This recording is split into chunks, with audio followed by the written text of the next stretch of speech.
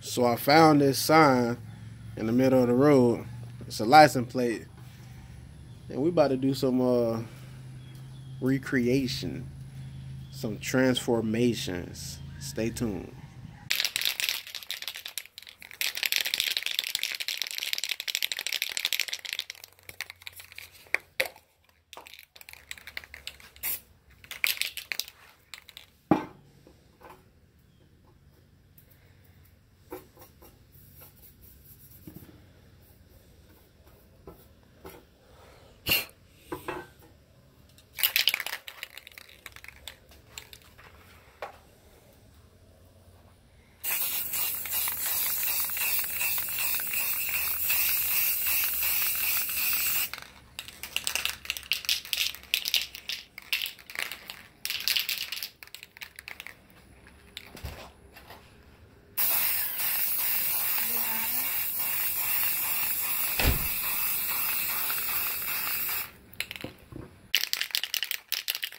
All right, it's been about 20 minutes.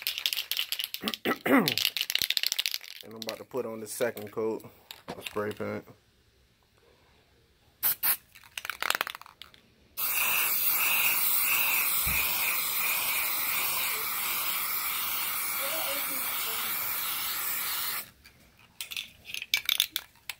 Yellow spray paint. Yep. To make a tag. Now we get the Mod Podge out. The sign is dry.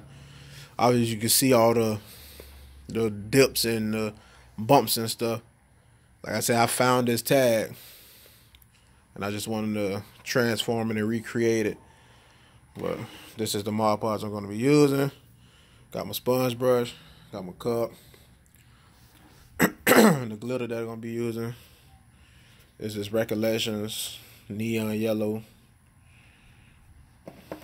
Alright. See you in a little bit. Alright. First coat of glitter. Um,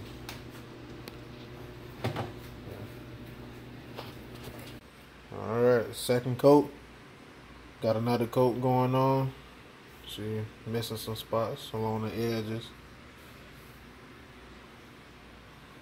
Alright, coat number three. Like I say, see all these little bumps and divots and stuff? It's because of the sign was found on the road. It's been ran over like four times. So now I'm finna get. Where's my clear coat?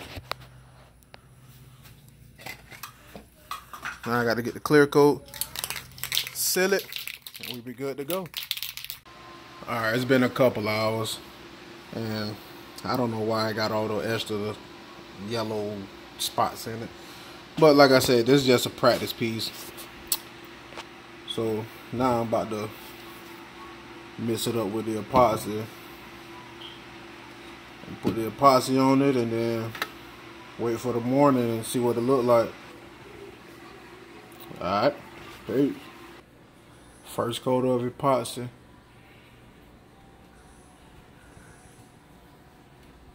Hey, looking nice.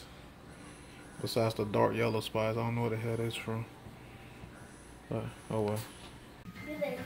Alright, about to put the final coat of epoxy on it. It's already mixed up. About to get it together. There it is. They got the final coat on. And we all done with it. Now we just gotta sit here and wait for it to dry. Transform the license plate tag that was found on the ground beat up.